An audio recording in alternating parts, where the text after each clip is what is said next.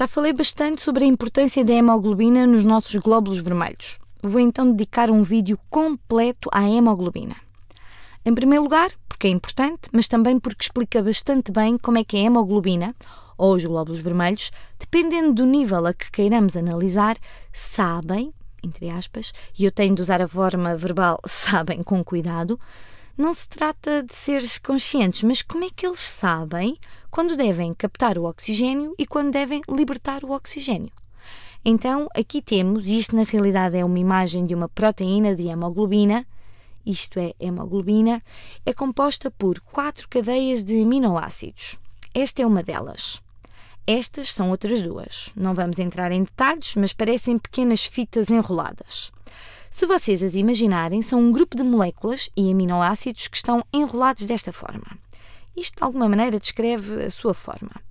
E em cada um destes grupos, ou em cada uma destas cadeias, vocês têm um grupo M. Tem um grupo M aqui a verde. Grupo M. É de onde veio o M na palavra hemoglobina. Vocês têm quatro grupos M e as globinas descrevem o resto. A estrutura proteica, as quatro cadeias peptídicas. Agora, este grupo M, isto é muito interessante, na realidade é um anel de porfirina. E se viram o vídeo da clorofila, vão estar lembrados de um anel de porfirina no centro.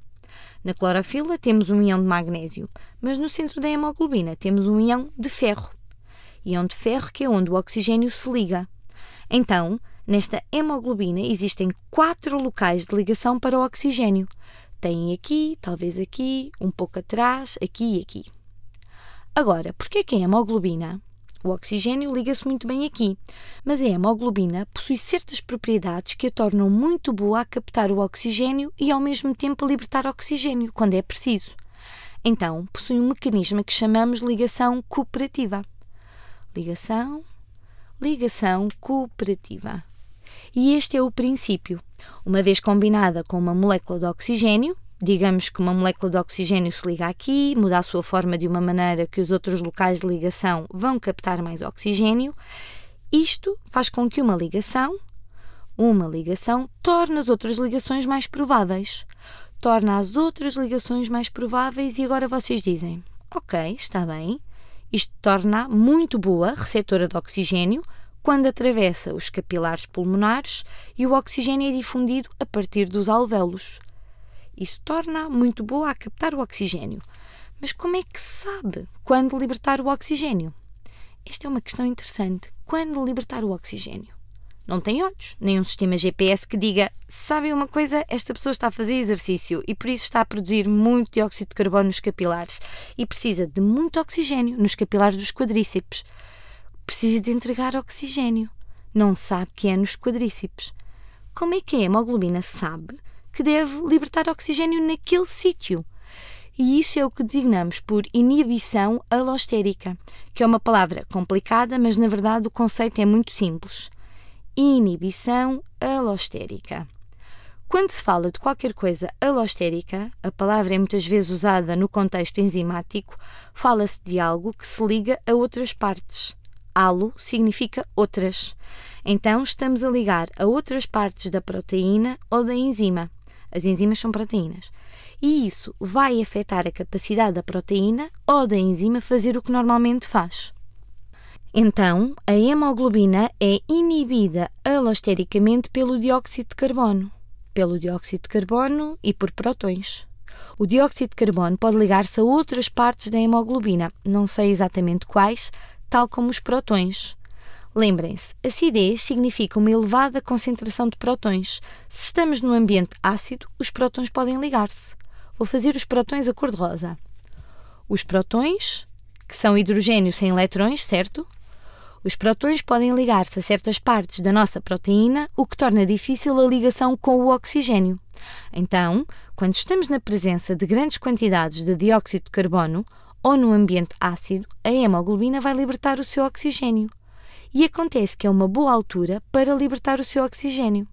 Agora vamos voltar à pessoa a praticar exercício físico.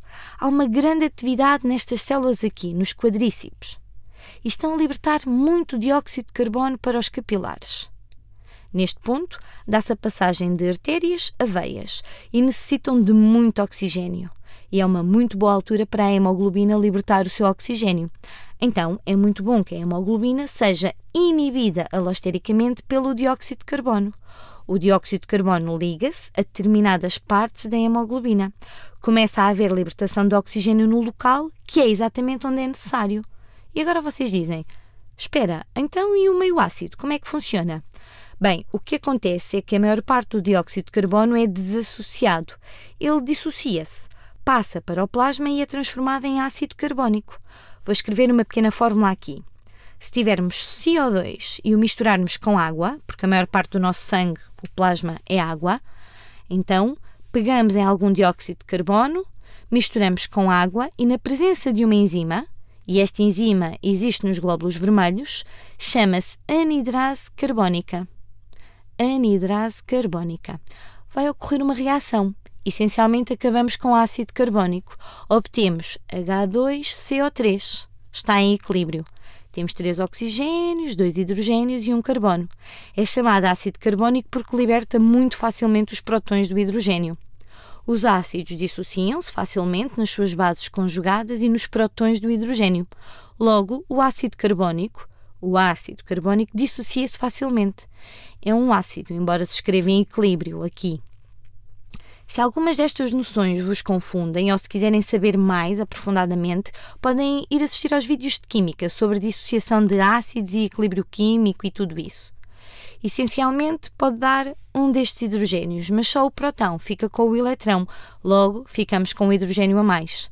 Bem, como perdemos um hidrogênio, só ficamos com um hidrogênio. Na realidade, isto é um íon de bicarbonato, mas só perdeu o próton, manteve o eletrão, por isso temos um sinal de menos. Logo, ambas as cargas são neutras e é neutro ali. Então, se estou num capilar da perna, vamos ver se eu consigo desenhar isto. Digamos que eu estou num capilar da minha perna, vou desenhar uma cor neutra. Isto é um capilar da minha perna. Aumentei uma parte do capilar, há sempre ramificações, e neste local tenho um grupo de células musculares que estão a produzir uma grande quantidade de dióxido de carbono e precisam de oxigênio. Então, o que é que vai acontecer? Então, temos o nosso eritrócito a circular. É interessante. Os glóbulos vermelhos, o seu diâmetro é 25% superior ao diâmetro dos capilares mais pequenos. Essencialmente, o que acontece é que eles são apertados à medida que passam nos capilares mais pequenos, o que, muita gente acredita, os ajuda a libertar o seu conteúdo e também algum do oxigênio que transportam. Então, temos um glóbulo vermelho que vem aqui, é comprimido contra o capilar aqui, tem uma porção de hemoglobina e quando eu digo uma porção, vocês podem ficar já a saber que cada glóbulo vermelho tem 270 milhões de proteínas de hemoglobina, 270 milhões. E se vocês fizerem as contas à totalidade de hemoglobina em todo o corpo, ela é enorme, porque nós temos, deixem-me escrever esse número aqui, nós temos 20 a 30 mil bilhões de glóbulos vermelhos. Nós temos 20 a 30 mil bilhões de glóbulos vermelhos e cada um dos 20 a 30 mil tem 270 milhões de proteínas de hemoglobina no seu interior. Então nós temos muita hemoglobina. Bem, isto foi um pouco de. Na verdade, os glóbulos vermelhos prefazem 25% da totalidade de células do nosso corpo, que são à volta de 100 mil bilhões. Nunca me sentei a contá-las. Continuando. Nós temos 270 milhões de partículas ou proteínas de hemoglobina em cada glóbulo vermelho. Isso explica porque é que os glóbulos vermelhos têm de perder os seus núcleos para terem espaço para toda a hemoglobina. Eles transportam oxigênio. Então, nesse ponto, estamos a lidar com. Isto é uma artéria, certo? Vem do coração. O sangue arterial está a ir nesta direção e então vai perder o seu oxigênio e vai passar a veia.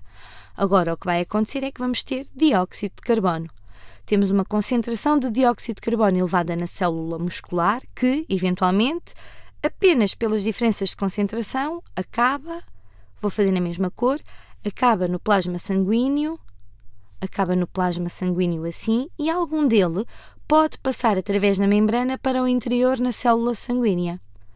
No glóbulo vermelho temos a anidrase carbónica, que faz o dióxido de carbono dissociar-se em, ou simplesmente tornar-se em ácido carbónico e assim poder libertar prótons. Então, estes prótons, como aprendemos anteriormente, fazem uma inibição alostérica na captação do oxigênio pela hemoglobina. Esses prótons começam a ligar-se a diferentes locais e até o dióxido de carbono, que ainda não reagiu, pode também inibir alostericamente a hemoglobina e pode também ligar-se a outros locais. E isso altera a configuração da proteína de hemoglobina de tal forma que esta também não consegue ligar ao oxigênio e começa a libertá-lo.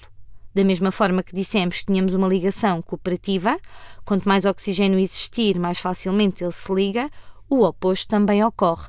Quando o oxigênio começa a ser libertado, torna-se mais difícil reter os outros. Então, todos os oxigênios são libertados. Isto, pelo menos na minha cabeça, é brilhante. É um brilhante mecanismo porque o oxigênio só é libertado onde é necessária a sua libertação. Ele não diz passei agora a artéria e agora já estou na veia. Se calhar passei por alguns capilares aqui e vou voltar para a veia. Deixa-me libertar o meu oxigênio porque aí iria libertar o oxigênio indiscriminadamente pelo corpo. Este sistema, ao ser inibido alostericamente por dióxido de carbono em um ambiente ácido, permite que o oxigênio seja libertado onde é mais necessário, onde está a maior concentração de dióxido de carbono, onde a respiração ocorre de forma mais vigorosa. É fascinante. É um esquema fascinante.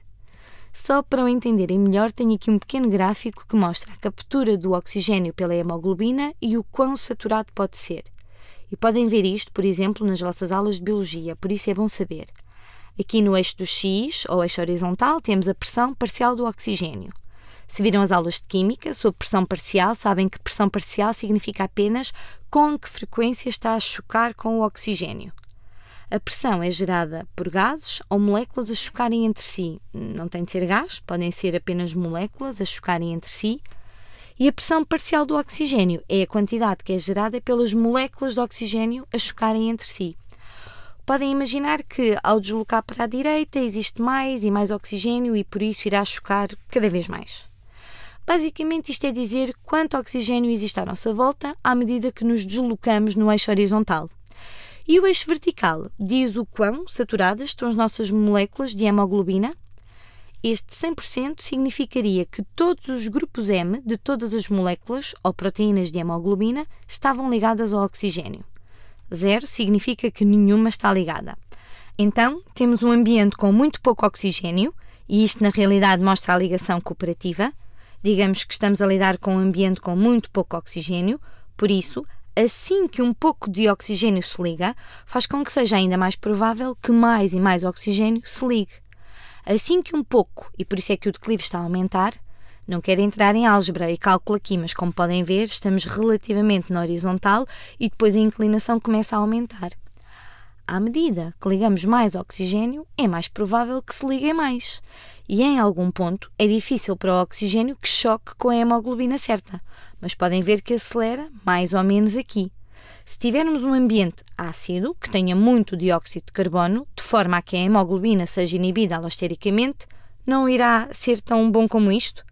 Então, para que este ambiente ácido, a curva para qualquer nível de pressão parcial de oxigênio ou qualquer quantidade de oxigênio, vamos ter menos ligação à hemoglobina. Deixem-me fazer isso noutra cor. Aí a curva ia ser algo mais assim. Vou fazer com uma cor mais escura. A curva da saturação iria ser assim. Isto é um ambiente ácido. Talvez exista algum dióxido de carbono aqui. Então, a hemoglobina a hemoglobina está a ser alostericamente inibida e por isso torna-se mais provável que liberte o oxigênio neste ponto. Não sei se acharam isto interessante ou não, mas eu acho brilhante porque é, na verdade, a maneira mais simples para ela libertar o oxigênio onde ele é necessário. Sem precisarem de GPS, sem robôs a dizer estou nos quadríceps e ele está a correr, por isso deixa-me libertar o meu oxigênio. Acontece naturalmente porque é um meio mais ácido, com mais dióxido de carbono fica inibido e então o oxigênio é libertado e fica pronto a ser usado pela respiração.